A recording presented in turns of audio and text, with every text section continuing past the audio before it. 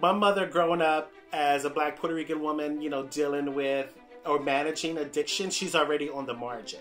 So a lot of her friends were like trans people and gay and queer folks. So I grew up with like drag queens in the house and me being mesmerized by them. I was diagnosed with HIV like four days after my 27th birthday.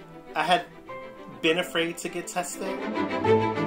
Gran Varones is a digital storytelling project that amplifies pop culture and AIDS and LGBTQ history through stories and music, but also amplifies community storytelling through a Black Latinx lens. I'm able to talk about AIDS history, queer history through music.